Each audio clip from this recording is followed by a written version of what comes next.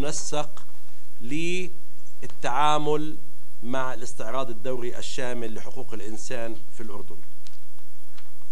هاي السنة بفضل مؤسسات المجتمع المدني الوطنية بالتعاون مع المؤسسات الدولية استطعنا في الأشهر الماضية أن نعمل بشكل حثيث سواء كمؤسسات مستقلة أو كتجمعات يعني ائتلافات استطعنا أن نعمل على تقديم تقارير في كل أو في أغلب الجوانب المتعلقة بحقوق الإنسان إلى الاستعراض الدوري الشامل اللي راح يكون في 24 عشرة. يعني بتفصلنا عنه أيام ليست كثيرة. الحكومة الأردنية قدمت تقريرها الواقع في 37 صفحة. وهذا التقرير موجود أظني على الموقع تاع مجلس حقوق الإنسان تستطيعوا أن تعودوا له. وهذا التقرير مجلس حقوق الإنسان في جنيف تستطيعوا أن تعودوا له لتأخذوا التقرير الأردني اللي أنا حكيت قبل شوي في مناقشة كنا مجتمعين كمان هلأ قبل شوي مع المؤسسات والوزارات الرسمية اللي راح تشارك وتحضر في جنيف بتمثل الوفد الرسمي اللي راح يرأسوا آه، معالي الدكتور محمد المؤمني. راح يضم أظني 11 واحد. لما اطلعت وقريت هذا التقرير انبسطت كثير وشعرت إنه أنا قاعد مش في الأردن في السويد. من كثر الحشد الكبير جدا للقوانين والاستراتيجيات والمبادرات اللي قام فيها الأردن لتعزيز منظومة حقوق الإنسان. نعم. ولكن لما قعدت أطلع بالتفاصيل إنه أوكي هذه القوانين قديش عم تطبق قديش في لها أثر قديش في لها إنفاذ وقديش الدستور يحترم حتى مع المنظومة القانونية وقديش الأردن اللي موقع على معاهدات ومواثيق عديدة جدا يلتزم رغم النص على أن المعاهدات تصفو تسمو على القوانين الوطنية إلا أنه وأخذت مثال حكيت لهم إياه اللي هو موضوع محاكمة محكمة أمن الدولة والتوقيف على سبيل المثال. وقلت لهم أنه في مادة بالتقرير رقمها 79 في موضوع الإعلام بتنص صراحة على أن القانون الواجب التنفيذ هو قانون المطبوعات وأنه ما فيش توقيف وكذا وفي اثنين من الزملاء موقوفين لهم 20 يوم. بغض النظر عن مضمون ما كتب ولكن نحن نقول ضد محكمة أمن الدولة في كل قضايا حرية التعبير وأيضا ضد قضية التوقيف باعتبارها عقوبة مسبقة. أيها الأصدقاء اليوم راح نحكي إيش المجتمع المدني ملاحظاته شو مطالباته شو توصياته في هذا الاجتماع القادم.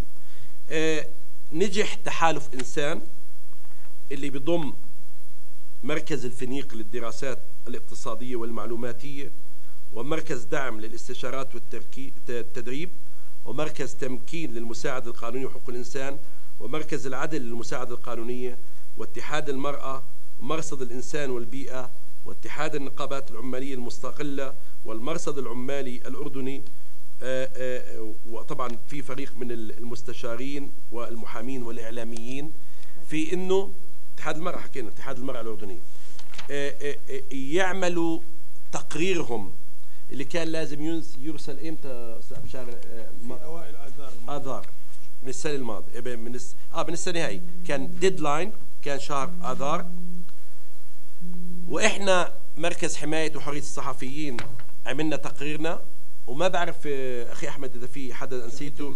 جمعيه النساء العربيات يعني حيكون في وفد موجود من مؤسسات المجتمع المدني في أثناء عرض الاستعراض الدوري الشامل وأثناء تقديم الحكومة والحكومات في العالم ملاحظات على تقريرنا والتوصيات.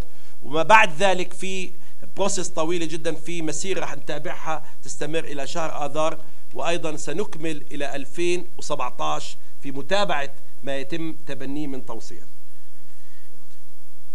اللي بدي آه، آه، قبل ما أختم بدي أحكي فيه إنه إحنا مش ممكن نقدر نلعب هذا الدور الرقابي لمؤسسات المجتمع المدني بدون جهد الإعلام. لذلك بدوركم أساسي. والإعلام للأسف في موضوع المحتوى الحقوقي يعني محتاج إلى تطوير وتمكين وتحسين. وإحنا بنتمنى إنكم تساعدونا في تسليط الضوء. أيضا إحنا في 24 شهر إحنا حاطين خطة للتغطية من جنيف. رح يكون في آه، آه، غرفة عمليات آه، رح يكون في لف البث مباشر.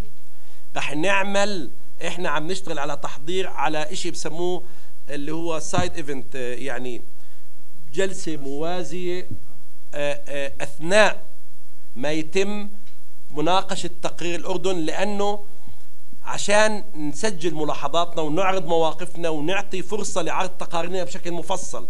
كل المؤسسات في الدول الناشطة والحقوقية الكويسة بتعمل هذا ال side event ولازم أذكركم كمان أنه إحنا في شهر الماضي تسعة رحنا عملنا إشي اسمه pre-session اللي هي جلسة تحضيرية كنا مشاركين حوالي خمس مؤسسات مجتمع مدني وكانت كل الدول ممثلين في مجلس حقوق الإنسان حاضرة وإحنا سجلنا وعرضنا تقاريرنا.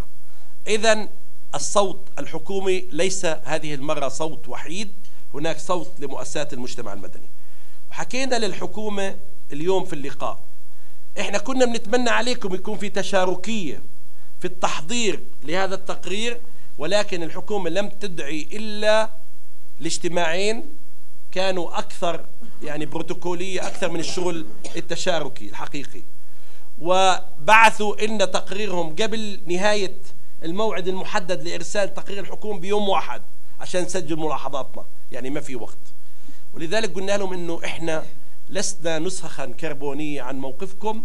إحنا مختلفين إحنا دورنا رقابي عليكم وعلى غيركم. وقد نتفق على بعض القضايا وقد لا نتفق أيضا في جنيف. بدي أعطي للأستاذ أحمد عوض منسق تحالف إنسان يحكي وأيضا الزميلات والزملاء كل من يحب أن يتحدث وبعدين نسمع لأسئلتكم.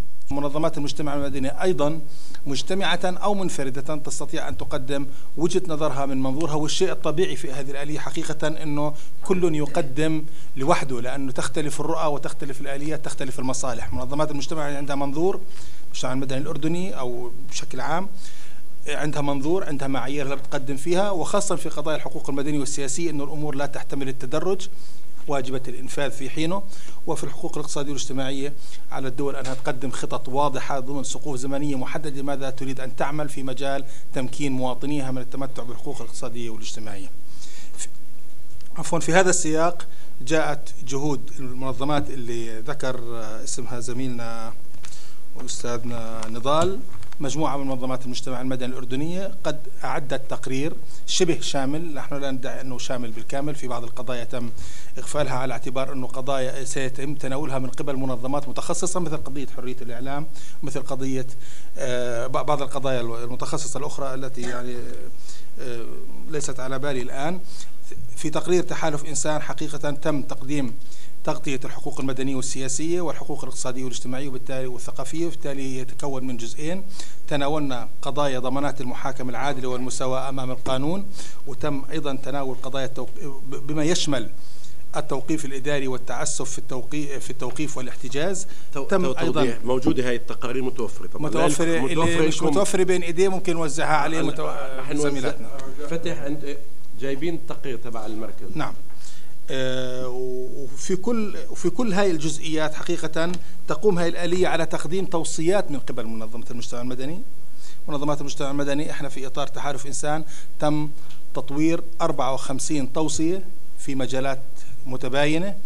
الآلية تقتضي أنه نقنع أعضاء مجلس أعضاء الدائمين في مجلس حقوق الإنسان عددهم 48 دولة بتبني هذه التوصيات وتقديمها للحكومة الأردنية لقبولها. والحكومات عادة لديها الحق أن تقبل وأن ترفض ولكن كل شيء في له سياقاته لأنه مش من غير المعقول أن يتم رفض توصيات أساسية. وفي الدورة الأولى حقيقة في 2009 الحكومة الأردنية وافق على على العديد من التوصيات في إطار إعداد تقريرنا قمنا إحنا بتحليل مدى التزام الحكومة الأردنية خلال أربع سنوات الماضيات بمدى التزامه وتوقفنا عندما تم إنجازه وأشدنا به وتوقفنا عند نقاط الضعف وعدم الالتزام وسلطنا عليها الضوء وطالبنا بإعادة تقديمها للحكومة الأردنية بالإضافة إلى توصيات أخرى تم استجدت على أرض الواقع. آه، لن أتحدث بتفاصيل التوصيات التقرير سيكون بإيديكم سأتحدث عن بعض القضايا في إطار الحقوق الاقتصادية والاجتماعية وستترك بعض القضايا الأخرى المتعلقة بموضوع حقوق المرأة وحقوق العمالة المهاجرة والحق في التقاضي والمساواة و أستاذ أحمد مرعي نائب رئيس اتحاد النقابات المستقل الأردني سيتحدث عن قضية حرية تنظيم النقابي.